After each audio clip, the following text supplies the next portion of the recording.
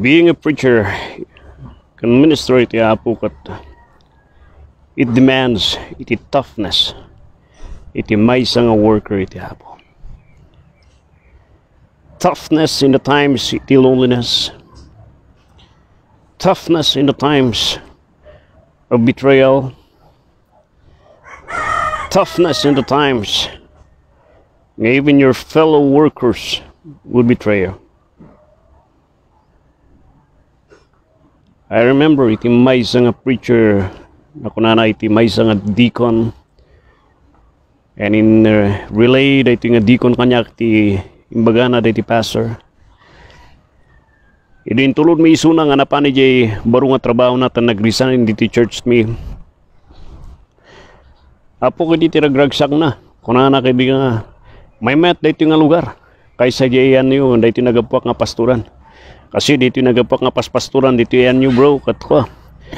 Nagrigat nga dong ti tao, naglalastog da. Pipya dito ita pu. Puunan lang dito kat katay.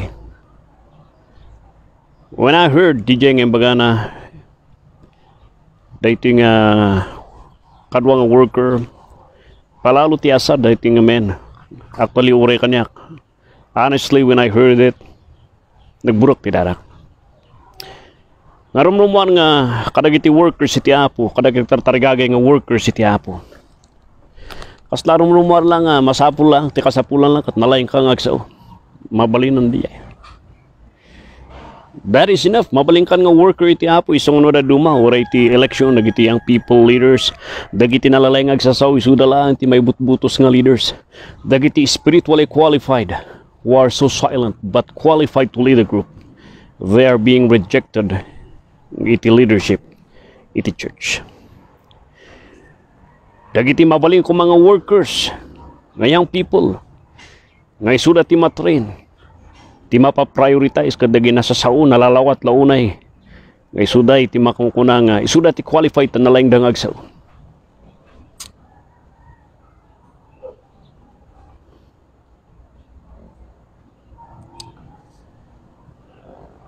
It is a curse to the church. No wonder the church is being cursed, iti apo. Because even the standard iti church kat bin maba. Being a worker iti apo kat uh, it is not always nga kasjay. Kat kung sawan, adamot iti chimpo nga urelay papatim nga agbaling nga napudno iti Dios awan pulos ti bunga iti trabaho.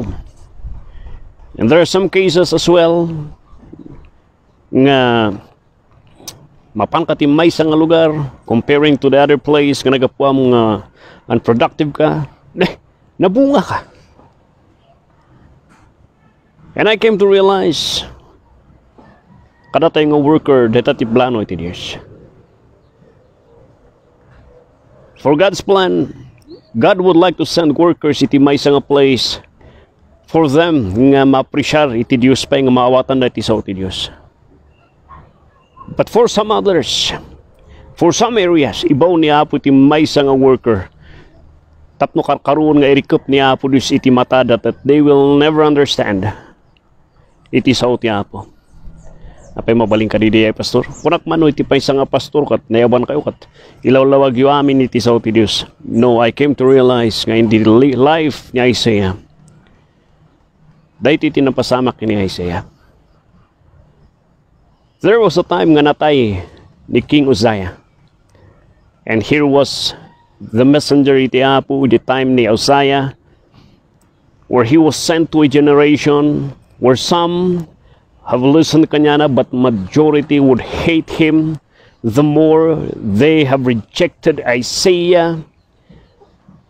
Nung kuna ni Apo Here, O my Lord, send me. In Isaiah chapter 6, kung iti sa uti po dito. eh. When uh, Isaiah said, Lord, in this calamity ngayon me, that the king died. The people needed much more iti sa um, and I would like to say, I am, I am willing shakti mapan. I will stand up for what is right and for your word's sake. And here was God talking to Isaiah ni kuna ni Apo Diyos kina Isaiah. And he said, Go and tell these people, You hear indeed, but understand not. And you see indeed, but perceive not. Make the heart of the people fat, and make their ears heavy, and shut their eyes, lest they see with their eyes, and hear with their ears, and understand with their heart, and be converted and be healed. It is a shocking account nga nakitutak nga ko na kani. Here was a prophet Itiapu sent by God himself for the purpose of hardening, of shutting, closing, of closing the hearts of the people, of making their ears heavy nga handa nga madengen, dengen iti sa Itiapu. And ura iti panakawat na karkaro nga handa nga mawatan iti sa Itiapu. In short, he was sent there to be God's judgment. Iti kinapangpangas dagiti tao nga dagitoy. Sa bagay, malagip tayo ni Christ Jesus. I am reminded when Jesus Christ also, iti time na iti earthly ministry na, iti Matthew chapter 11. He told parables and he said, Aping agititid ka, aping isusurum iti sao iti Diyos iti parabulo. And isumbat ni Christ Jesus iti Matthew chapter 11, because dagito nga kinapudno nga kat kung isuro kada kayo, kat inlamang ni Diyos Ama kada kayo. Dahito nga kinapudno nga kahit kung nga maadal yung tatangal daw, that it is only intended for those people nga sagana ni Diyos Ama, nga at maawatan na, kan itad na kanyak, nga makangag, kan sumurot kanyak, itibiyag na. I thought the parables were intended nga kasla nga di aramidan tayo nga object lesson tapno ma-clarify tayo ti sa Diyos.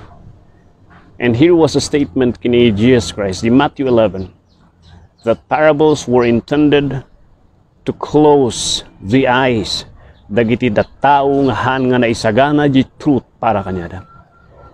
Nga di truth nga kahit ni Apo Dios kani Kristo Jesus nga makangag kat isudalaan ti makawat makaawat ti ay.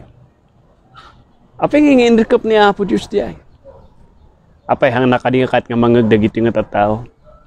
Di ti misteryo iti Dios napasamak dito ti biyag ni Isaiah. He was brought there, he was there faithfully preaching the word, and karkaro nga pumudpudot, karkaro nga irikrikap ti tao tila payagda. Karkaro nga irikrikap ta ti matada, handa kat nga aksiptaran ni ti sao ti Diyos. And kung niya po Diyos, I will send you as my greater judgment agiti tao. Nga dumtang iti simpo.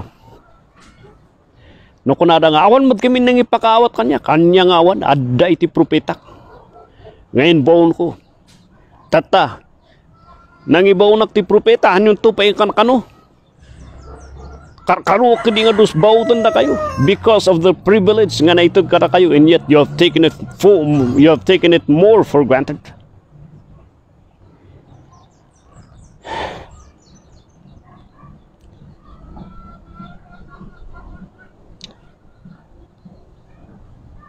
In my 23 and 24 years preaching the word, I came to see the reality that yung kinagpaiso iti sitwasyon ni Isaiah.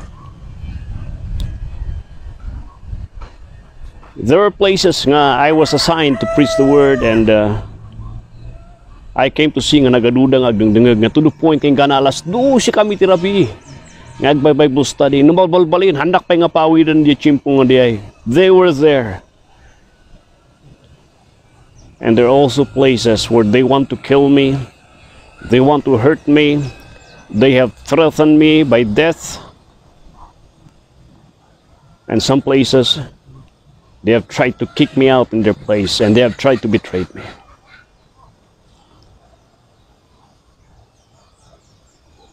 I remember those people who have stood for me.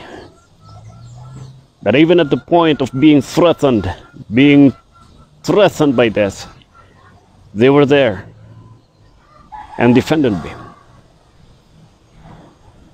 Grabe ti bunga niya ti eh, Sauti Apo. And I also remember those preaching ministries where a lot of people are crying in repentance And I also remember those times that even though faithfully you're been preaching the word, and all the people there would like to kick you out in the gathering. And I came to realize that's the two sides iti ministry, ti preacher, kun worker, ti. We are sent to clarify, to explain the word of God more clearer to the people. And we are sent for the purpose nga i-recupay iti panunot ti tattao because at the very beginning awanan ti pupas panunot da so karkaruan da nga karkaruan iti kalkaluban ti labayag da and they don't like to hear the word. This is the reality reality iti ministry a reality that preachers young preachers must realize that if the Lord sent you to a place where nobody would believe you and everybody would reject you, everybody would say, nag-ubingan ka, dulaki di amom. Remember Isaiah. You were sent there. Tapno karkaruan ni Apo. Nga dati singir to ni Apo Diyos kanyada in their judgment time and in the final day the great white throne will where they will be given a chance to stand and the Lord will speak to them, I've sent your workers in your place, but you have rejected that man, you have rejected the worker, and I will bring you more judgment because of the privilege that you have taken for granted. Karag iti pa Pastor Piman nga makita kan preachers ngayo. Kasla daw unay nga na-spoiled. So ano da dumakit kit kitak piman da tayo nga da jay talaga nga sentro kon kapupulutan ti gubat. Kaapal no da dumakit kitaan tayo nga ayo dagiti ka kadua nga papastor nga dagitoy kaslada nga kaslahan nga gubatan ti anda kaslada nga pista ayo maitud amin nga kay kayat da masupsuportaran da. Ayo piman ma maay ayat da madar darling piman iti madar darling piman isuda iti membro kan talaga nga maisakit da. Hanyo nga busuon di nga pabor nga ito di Diyos kada kayo. Gapusta di jay tinangi kargana kada kayo kat hanyo nga ibaga nga hanyo kumangas abusuon di nga kinesaya ti Diyos takada kami nga na destino ti kaputpulutan iti kaput kaputpulo kaputpulutan ti gubat nga nagagagagad itirik nami ti gubatan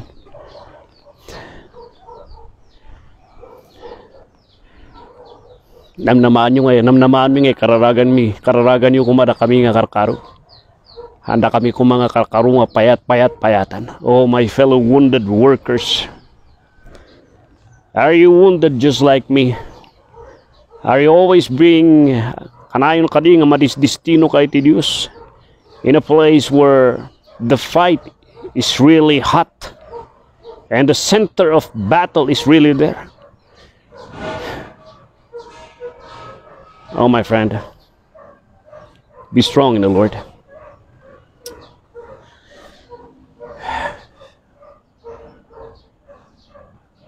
Hang on, my friend. Unguna ni Apo Diyos amin. Narigat sakripisyo tayo. Itigubatan. Our loneliness, our betrayal, our being misunder misunderstood. We are being rejected and treated as devils, while other workers are being treated as angels. Naure aniniwan kung rupa, madida pa'y makikita ti rupa tayo. They don't like our guts and toughness. They hated it. Anang kita na kada napangas. Oh, my friends, for the Lord's work, for the Lord's honor and name, for the Lord's mission. Hang on. Hang on, my friend. The Lord will vindicate, the Lord will reward our pains. Oh, my fellow wounded workers. Kasla ka kadi nga aso nga nagawid nga nakagat-kagat ti kakadwa nga aso nga dildil patan na iti kagat na. Kapsat. Anong santa nga dilpatan dagiti kagat iti demonyo ti biyagta. Knowing na amin dagiti nga kagat it will be remembered and it will be rewarded by God. My fellow wounded worker, fellow wounded preacher. Hang on, hang on.